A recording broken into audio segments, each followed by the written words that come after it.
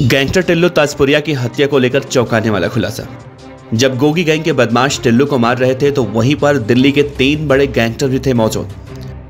Gogi gang के बदमाश इतने ज़्यादा खतरनाक थे कि उन तीनों गैंगस्टरों की हिम्मत नहीं हुई कि टिल्लू ताजपुरिया को बचा ले।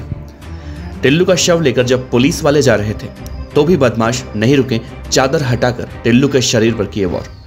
टेल्लू ताजपुरिया ने भी नहीं सोचा होगा कि जिस गोगी को उसने कोर्ट रूम में मरवाया था, उस गोगी के गुर्गे उसे देंगे ऐसी सजा।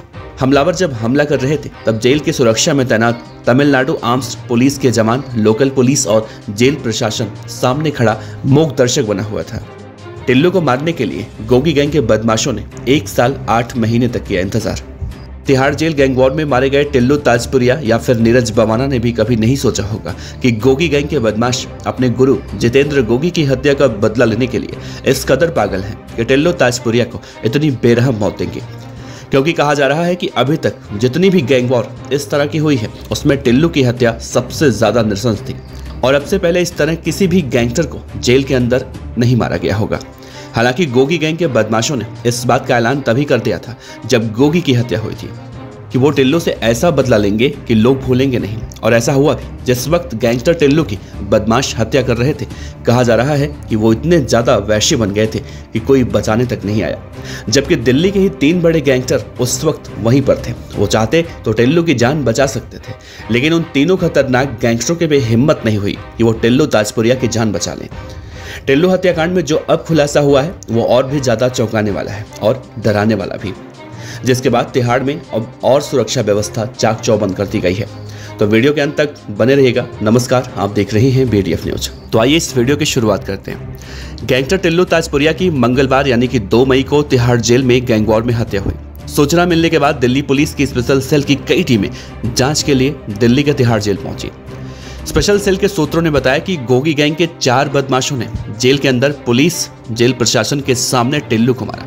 नब्बे से ज़्यादा बार नुकेले हथियार से टिल्लू पर हमला किया गया। कहा जा रहा है कि हमलावर जब हमला करते करते एकदम से थक गए, तब जाकर टिल्लू को छोड़ा।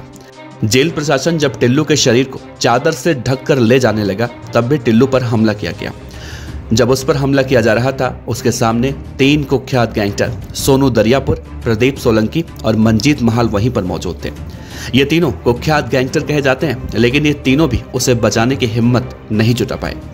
सूत्रों ने बताया कि हमलावर जब हमला कर रहे थे, तब जेल की सुरक्षा में तैनात तमिलनाडु आर्म्स्ड पुलिस के जवान, लोकल पुलिस और जेल प्रशासन सामने खड़ा मूक दर्शक बना हुआ था। इस मामले में हरिनगर थाने में हत्या हत्या की कोशिश की धारा के तहत एफआईआर दर्ज की गई है। पुलिस के मुताबिक टिल्लू ताजपुरिया के शरीर को बुरी तरह से लोहे की ग्रिल से बनाए गए सुबह से खोदा गया। इस मामले में थाना हरिनगर में आईपीसी की धारा 302, 307 और 34 के तहत कानूनी कार्रवाई शुरू कर दी गई है। जेल अधिकारियों के मुताबिक Tillu Tajpuria high security ward के ग्राउंड फ्लोर पर बंद था।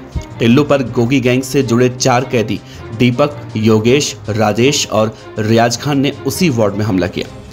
योगेश उर्फ़ टुंडा और दीपक उर्फ़ तीतर ने वार्ड की लोहे की ग्रिल को तोड़कर टेल्लो ताजपुरिया पर हमला किया था। गोगी गैंग के इन बदमाशों को फ़र्स्ट फ्लोर के हाई सिक्योरिटी वार्ड में रखा गया था। उन्होंने सुरक्षा ग्रिल को काटा और बेडशीट का इस्तेमाल करते हुए ग्राउंड फ्लोर पर कूद गए।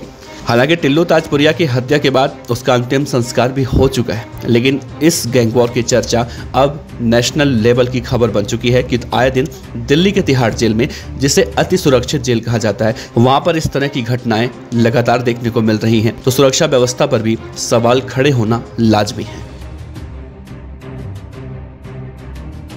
खबर अच्छी लगी हो तो लाइक कीजिए, सब्सक्राइब कीजिए, साथ ही बेल आइकन का बटन दबाइए। पीडीएफ न्यूज़ की खबरें सबसे पहले देखने के लिए।